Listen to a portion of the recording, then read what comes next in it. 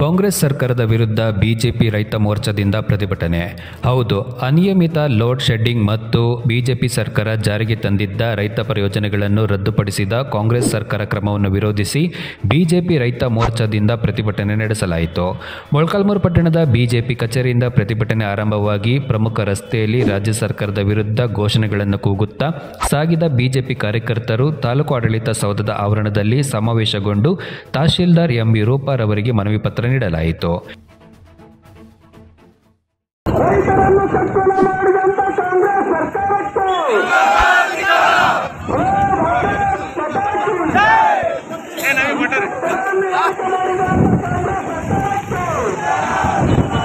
ಈ ದಿನ ಭಾರತೀಯ ಜನತಾ ಪಾರ್ಟಿಯಿಂದ ನಮ್ಮ ತಾಲೂಕು ಆಡಳಿತಕ್ಕೆ ಏನು ಅಹವಾಲನ್ನು ಕೊಟ್ಟಿದ್ದಾರೋ ಅದನ್ನ ಜಿಲ್ಲಾಧಿಕಾರಿಗಳ ಮುಖಾಂತರ ಸರ್ಕಾರಕ್ಕೆ ತಲುಪಿಸುವಂತಹ ಪ್ರಾಮಾಣಿಕವಾಗಿ ಮಾಡ್ತಾರೆ. ಈ ವೇಳೆ ಬಿಜೆಪಿ ಮಂಡಲಾಧ್ಯಕ್ಷರಾದ ಡಾಕ್ಟರ್ ಪಿಎಂ ಮಂಜುನಾಥ್ ಮಾತನಾಡಿ, ರಾಜ್ಯದಲ್ಲಿ ಅನಿಯಮಿತ ಲೋಡ್ ಶೆಡ್ಡಿಂಗ್ ಪರಿಣಾಮದಿಂದಾಗಿ ರೈತರ ಬೆಳೆಗಳು ಒಣಗಿ ಹೋಗುತ್ತಿದ್ದು, ರೈತರು ಸಾಲದ ಸುಳಿಯಲ್ಲಿ ಸಿಲುಕಿದ್ದಾರೆ. ಮಳೆಯ ಅಭಾವದಿಂದ ರಾಜ್ಯದಲ್ಲಿ ಬರಗಾಲ ಎದುರಾಗಿದ್ದು, ರೈತರಿಗೆ ಬೆಳೆ ಪರಿಹಾರ ನೀಡಬೇಕು. ಬಿಜೆಪಿ ಸರ್ಕಾರ ಜಾರಿಗೆ ತಂದಿದ್ದ ರೈತಪರ ಯೋಜನೆಗಳಾದ ಕಿಸಾನ್ ಸಮ್ಮಾನ್ ನಿಧಿ ಯೋಜನೆ, ರೈತ ವಿದ್ಯಾನಿಧಿ ಯೋಜನೆ, ಭೂಸಿರಿ ಯೋಜನೆ, ಶ್ರಮಶಕ್ತಿ ಯೋಜನೆ, ರೈತ ಸಂಪದ ಯೋಜನೆ ಎಪಿಎಂಸಿ ಕಾನೂನು, ಕೃಷಿ ಮಾರಾಟ ಕಾನೂನು, ಜಿಲ್ಲೆಗೊಂದು ಗೋಶಾಲೆ ಯೋಜನೆ ಸೇರಿದಂತೆ ಹಲವಾರು ಯೋಜನೆಗಳನ್ನು ಕಾಂಗ್ರೆಸ್ ಸರ್ಕಾರ ರದ್ದುಪಡಿಸಿದ್ದು ಇದು ಕೃಷಿಕರಿಗೆ ಆಗಿರುವ ಅನ್ಯಾಯವಾಗಿದೆ. ಆದ್ದರಿಂದ ಈ ಯೋಜನೆಗಳನ್ನು ಮತ್ತೆ ಜಾರಿಗೊಳಿಸಬೇಕು. ಕಾಂಗ್ರೆಸ್ ಸರ್ಕಾರದ ಅಧಿಕಾರಕ್ಕೆ ಬಂದ ನಂತರ ಸುಮಾರು ನಲವತ್ತೆರಡು ಜನ ರೈತರು ಆತ್ಮಹತ್ಯೆ ಮಾಡಿಕೊಂಡು ಘಟನೆಗಳು ವರದಿಯಾಗಿದ್ದು, ಇದು ಅತ್ಯಂತ ಕಳವಳಕಾರಿ ವಿಚಾರವಾಗಿದೆ. ರೈತರಿಗೆ ಸಮಯಕ್ಕೆ ಸರಿಯಾಗಿ ವಿದ್ಯುತ್ ಮತ್ತು ಸರಿಯಾದ ಯೋಜನೆಗಳನ್ನು ರೂಪಿಸದೆ ಹಿನ್ನೆಲೆಯಲ್ಲಿ ರಾಜ್ಯದಲ್ಲಿ ಈ ಪರಿಸ್ಥಿತಿ ನಿರ್ಮಾಣವಾಗಿದೆ ಎಂದು ರಾಜ್ಯ ಸರ್ಕಾರದ ವಿರುದ್ಧ ವಾಗ್ದಾಳಿ ನಡೆಸಿದರು. ಬಿಜೆಪಿ ಮುಖಂಡರಾದ ರಾಮರೆಡ್ಡಿ, ಪ್ರಭಾಕರ್, ಮರಿಸ್ವಾಮಿ, ಮೂರ್ತಿ, ಭೀಮಣ್ಣ, ಸೋರಮನಹಳ್ಳಿ, ನಾಗರಾಜ್, ಚಂದ್ರಣ್ಣ ಸೇರಿದಂತೆ ಹಲವರಿದ್ದರು ವರದಿಗಾರರು Rudresh A to Z news Molakalmuru. ಏನಾದರೂ ಒಂದು ಬಿಟ್ಟಿ ಬಾಗಿಗಳನ್ನ ಕೊಡೋದ್ರ ಮೂಲಕ, ಒಂದು ಸುಳ್ಳು ಭರವಸೆಗಳನ್ನ ಜನರಿಗೆ ಹೇಳೋದ್ರ ಮೂಲಕ ಇವತ್ತು ನಮಗೆ ಮೋಸ ಮಾಡಿದೆ ಸರ್ಕಾರ. ಇವತ್ತು ರಾಜಕೀಯವಾಗಿ ಅವರು ಅಧಿಕಾರವನ್ನು ದುರುಪಯೋಗ ಮಾಡ್ಕೊಳ್ತಾ ಇದ್ದಾರೆ.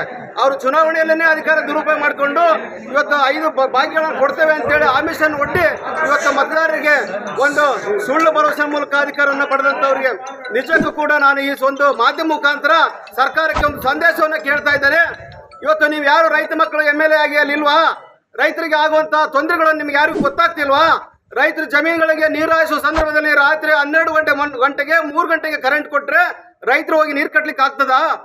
ಬಹಳಷ್ಟು ಕಾಡು ಪ್ರಾಣಿಗಳ ಸಾಹಸದಿಂದ ರೈತರು ಬಹಳಷ್ಟು ಜನರು ಅವನಾತಕ್ಕೀಡಾಗಂತ ಪರಿಸ್ಥಿತಿ ಇವತ್ತು ಒಂದೂವರೆ ತಿಂಗಳ, ಮೂರು ತಿಂಗಳಲ್ಲಿ ಆಗಿದೆ.